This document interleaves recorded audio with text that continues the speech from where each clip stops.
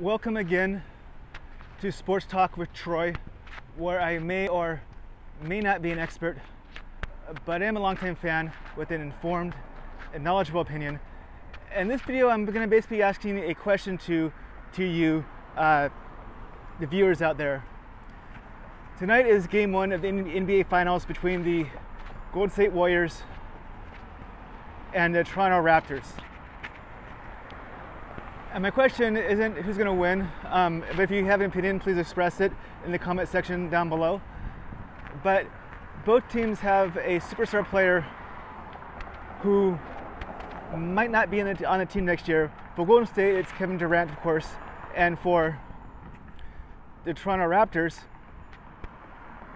it's Kawhi Leonard. Now,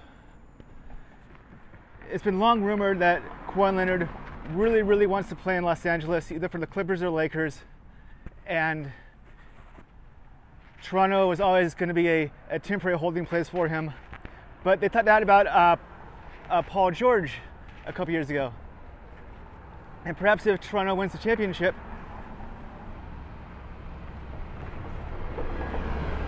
he will stay.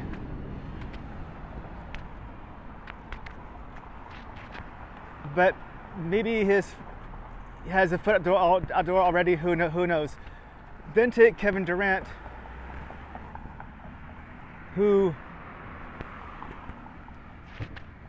while he makes Golden State a better team, they're already winning championships without him. Since he's been injured in the playoffs, they haven't lost a game. Um, he's been rumored to be headed to, to New York for a while. So,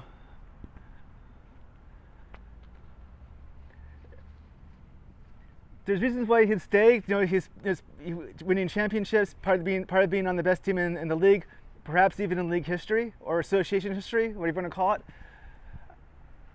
But he kind of seems like the odd guy out at some at times, and he might need to or want to go and do his own thing which could lead to New York or even to the, the Clippers. Now, is there a possibility, I don't know if it works cap wise, that we can see Kawhi Leonard and Kevin Durant on the Clippers next year? I wouldn't count on it. But it could, I think it could happen. I, I, don't know the cap situation with, with the Clippers though. Um, but back to the question which of the two, Kawhi Leonard and Kevin Durant, are most likely to stay at the team and who's most likely to leave their team to go somewhere else. Again, please let me know in the comment section down below.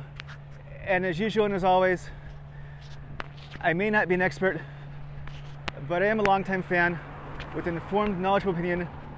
If you're watching this on YouTube, please subscribe, please like, it helps the channel a lot. If you're on, on Instagram, if you don't already, already please follow. I thank you so much for watching, and I'll talk to you soon.